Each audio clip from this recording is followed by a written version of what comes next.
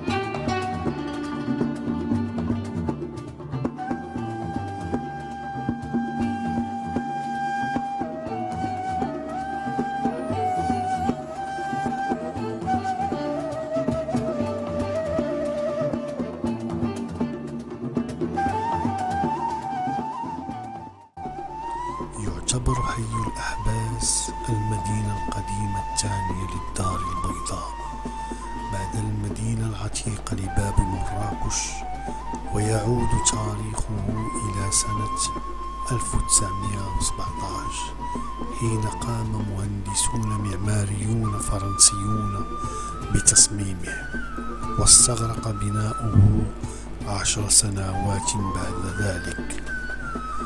تعود تسمية الحبوس إلى بناء الحي على مساحة أربعة هكتارات من الأراضي المحبسة لفائدة وزارة الأوقاف والشؤون الإسلامية. من طرف يهودي مغربي كان يدعى حايم بن دحان وذلك قصد فصل المسلمين المغاربة آنذاك عن الأوروبيين. من طرف المستعمر الفرنسي.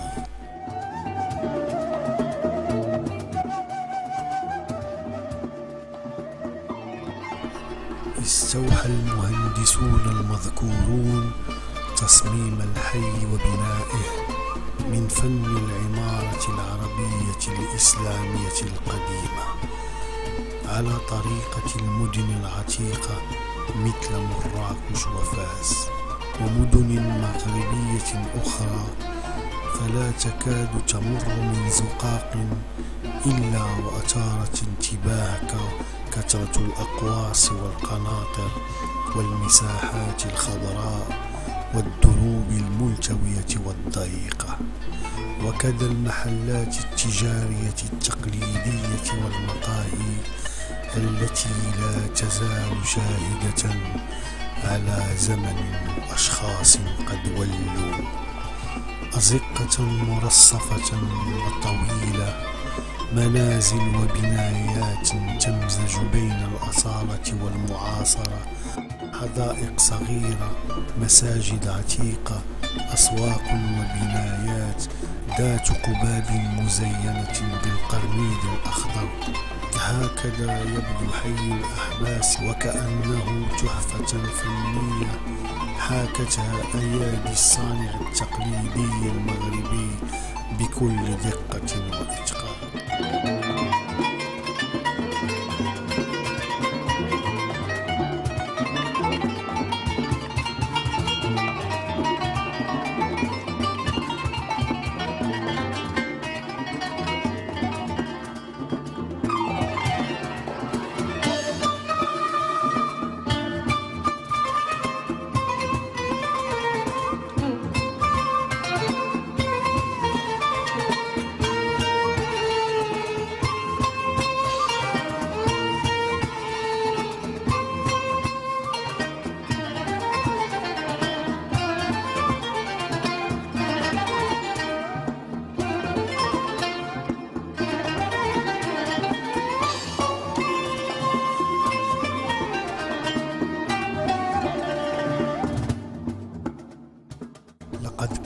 الحي في ذلك الوقت.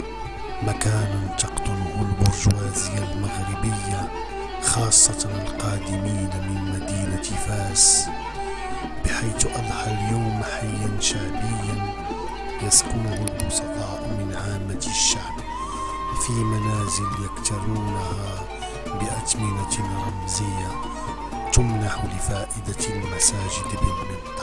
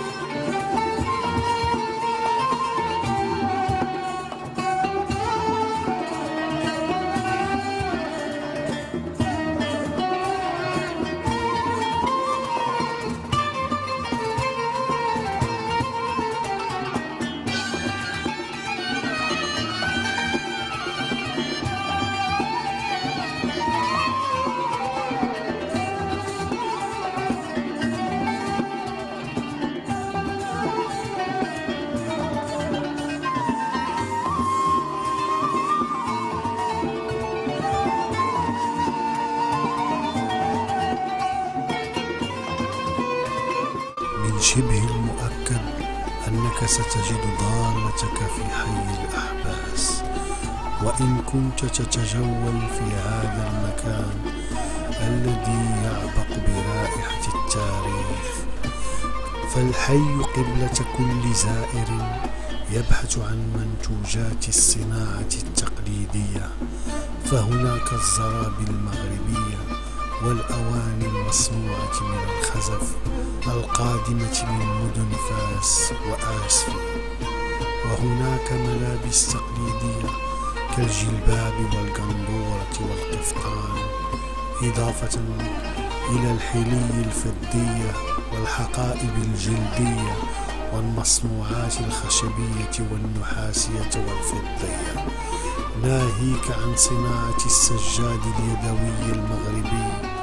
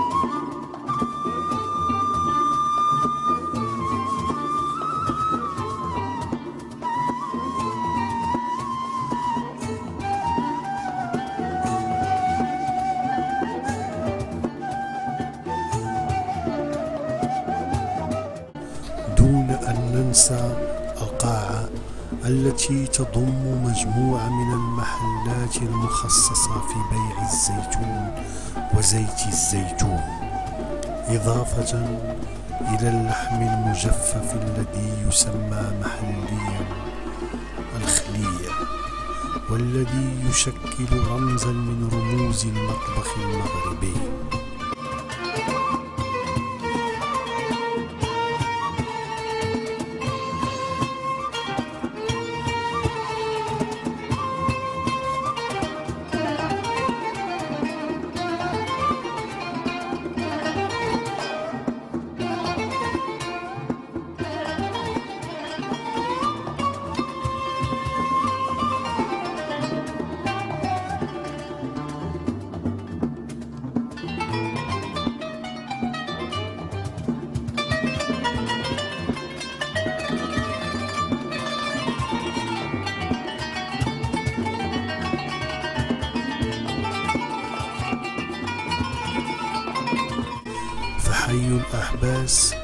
سوق من الخياطين والباع والحرفيين تحتار فيه بين أي المحلات التجارية.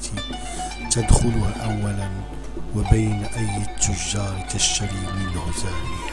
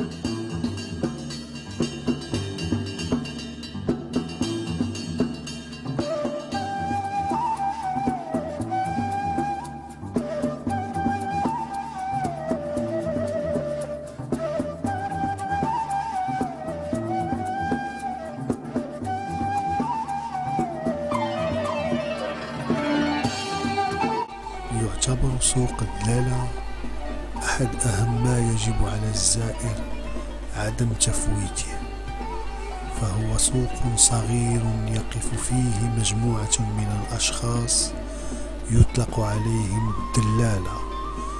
يتفننون في عرض بعض السلع المستعملة للمزايدة العلنية وينالون مقابل عملهم هذا خمسة بالمئة من ثمن كل بضاعة يتم بيعها.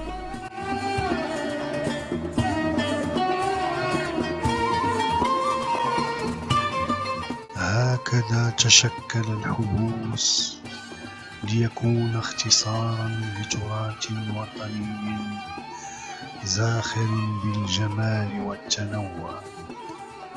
واليوم كما الأمس ما زال الحي مغربيا حتى أدق تفاصيله. وهكذا نأمل أن يبقى.